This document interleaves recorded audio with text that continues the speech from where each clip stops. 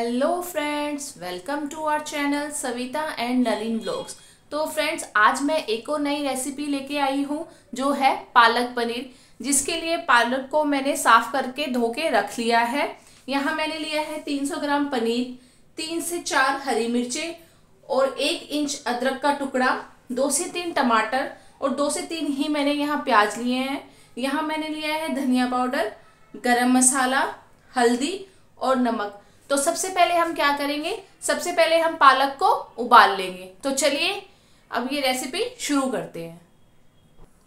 मैंने यहाँ पालक उबलने के लिए रख दिया है, जिसमें मैंने कुकर में पालक डाल दिया है और मैं इसमें आधा कप पानी डालूँगी। और इसके बाद इसमें अपने टेस्ट के अकॉर्डिंग नमक। उबालते हुए मैं इसमें सिर्फ़ नमक ही यूज़ करूँगी। उबालते हुए इसमें नमक डालने का एक ये बेनिफिट होता है कि जो इसकी ग्रीननेस होती है, वो बनी रहती है। तो इस वजह से हम इसमें उबालते हुए साथ में नमक डाल देंगे। तो चलिए इसमें हम दो विसल लगवाएँगे। जब तक ये तैयार हो रहा है, तब तक हम अपनी ग्रेवी तैयार कर लेते हैं और अपना पनीर कट कर लेते हैं। यहाँ ग्रेवी के लिए मैंने टमाटर काट लिए हैं, अदरक काट लिया है अब मैं प्याज काट रही हूँ।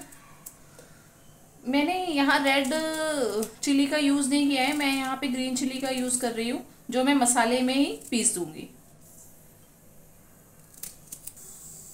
तो फ्रेंड इस तरह से हम छोटे छोटे टुकड़े पनीर के कर लेंगे।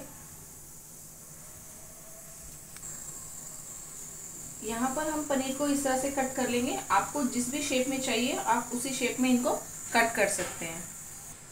ये देखिए, हमारी ग्रेवी अब पिसकर तैयार है।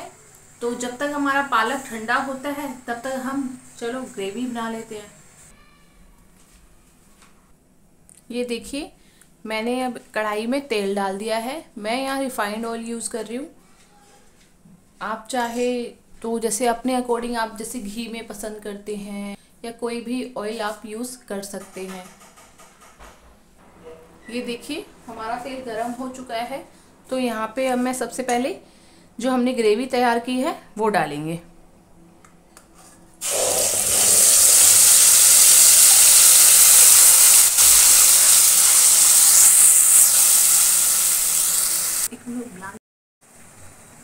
ये देखिए, हमारा पालक उबल कर तैयार है। ये देखिए, इसके पत्ते अभी भी कितने ग्रीन हैं।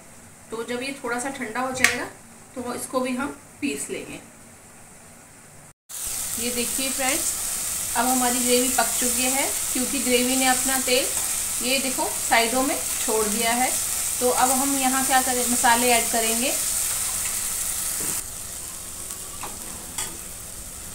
मैं यहाँ पे आधे से भी, आधा थोड़ा सा चम्मच में हल्दी यूज़ कर रही हूँ। धनिया पाउडर थोड़ा सा गरम मसाला और यहाँ मैं ग्रेवी में थोड़ा सा नमक यूज़ कर रही हूँ। थोड़ा मैं इसलिए यूज़ कर रही हूँ क्योंकि थोड़ा सा मैंने पालक में उबालते हुए उसमें डाल दिया था। और यहाँ मैं लाल मिर्च इसलिए यूज़ नहीं कर रही हूँ क्योंकि मैंने ग्रेवी में हरी मिर्च पीस दी थी साथ में तो वहाँ मैंने हरी मिर्च का यूज़ किया है। ये देखिए, अब हम ग्रेवी में यह मसाले अच्छी तरह से मिक्स कर देंगे। ये देखिए, यहाँ मैंने पालक भी पीस लिया है। जैसे ही हमारी ग्रेवी तैयार हो जाएगी, मैं इस पालक को उस ग्रेवी में डाल दूँगी। ये देखिए, हमारी ग्रेवी में मसाले अच्छी तरह से मिक्स हो गए हैं तो यहाँ मैं अब पालक डाल दूँगी। ये देखिए, हमने इसमें पालक डाल दिया है और इसको मसाले के साथ अच्छी तरह से मिक्स करेंगे। जब हमारा ये पालक थोड़ा तैयार हो जाएगा तो उसके बाद हम इसमें पनीर ऐड करेंगे। तो तब तक हम इसको पकने देते हैं। ये देखिए, हमारा पालक अब यहाँ पक चुका है। तो यहाँ पर अब हम पनीर डालेंगे। और पनीर पनीर डालने के बाद इसको हम थोड़ी देर और पकाएँगे और फिर उसके बाद हमारी रेसिपी बनके तैयार हो जाएगी। इसके बाद हम इसकी प्लेटिंग करेंगे। ये हमने पालक और पनीर को अच्छी तरह से मिक्स कर लिया है। इसको पाँच से दस मिनट थोड़ा सा हम पकाएँगे ताकि पनीर में भी थोड़ा सा मसाले जैसे अच्छे से मिक्स हो जाएँ।